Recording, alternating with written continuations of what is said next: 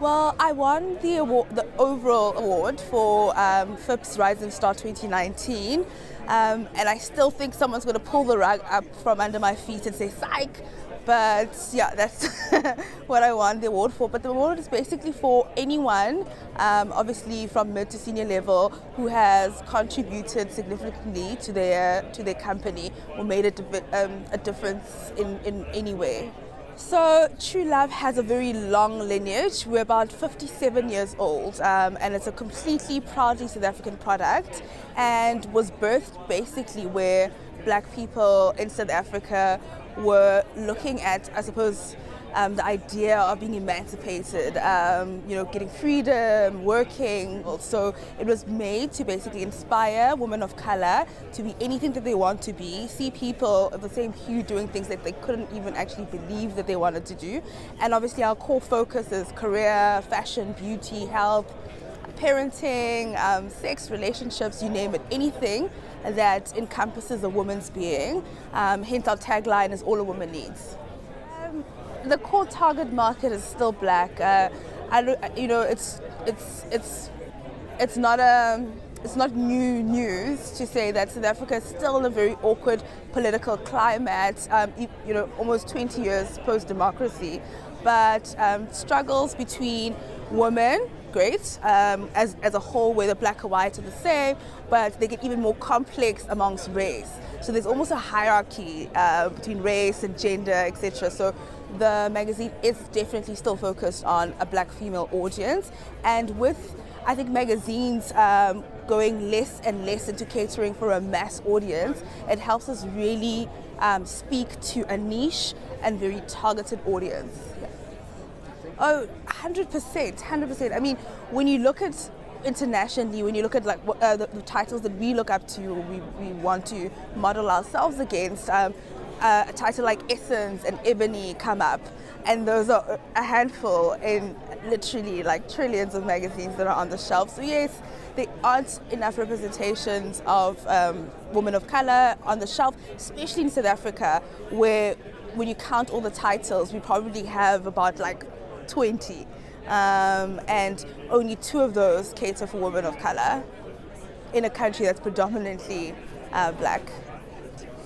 Oh, that's, I think, one of my favorite questions. So, when I was um, tasked with the job of editor almost two years ago, um, we were going back to basics, um, going to a magazine that literally was the shining star of South African publishing um, at the verge of closure. So I wasn't looking at it in terms of platforms or where I'm going to concentrate. I was looking at almost a brand building exercise, building trust. So now that we've got that back and it shows in our circ and the, you know and our finances, we're only now starting to to focus on certain channels. And obviously, the first place to start is the print publication that everyone's known to love. And um, now we've diversified. We do have a website, we have a social media presence, and I think our biggest, biggest core pillar right now is our experiences, our events are literally quadrupling um, the revenue that uh, our print uh, had had been doing. And, and digital, talking about digital, as much as we are moving towards uh, a, digital models, South Africans, fortunately and unfortunately, aren't picking it up as fast enough because data costs a fortune in South Africa.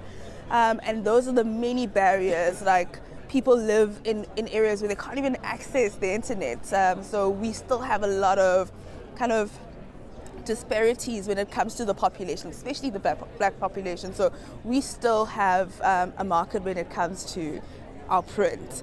But saying that, we are doing, we're growing our, our, our digital very steadily, and it's all more of an education exercise than it is just a here's a strategy, let's launch it, off we go. Yeah, this is okay. So, True Love is a heritage brand in the South African uh, audience. So we have our audience is so polarized, it's insane. You have someone as old as my mom who's 60 plus still buying the title, and someone like me um, in my 30s who bought, who literally saw the magazine in the house, eventually, eventually fell in love with it and continued buying it. So those, those are the, almost the, you know, and now, you know, my daughter at some point will, will start buy, buying or consuming um, the type of uh, a True Love magazine, for example. So it's very hard to cater for everyone. Um, I do say though that on our digital and experiential um, level, that is our younger audience. And in terms of our print, it's still the core um, 35 plus audience.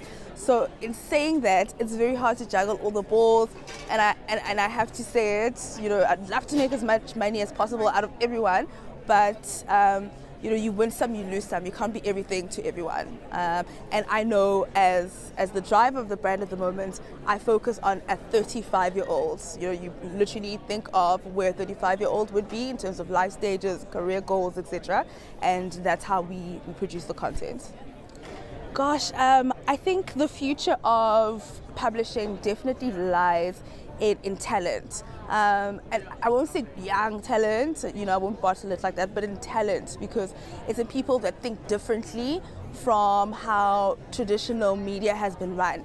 And this is why, for example, a rising star is important because as much as things have been done a certain way, I have a different way of consuming and thinking about packaging content that I think will maybe help people think differently. So uh, I think platforms like this allow us to engage where, where you know, on a level where we think, oh, can I put my hand up and say something? Is someone going to say, think what I'm saying is stupid?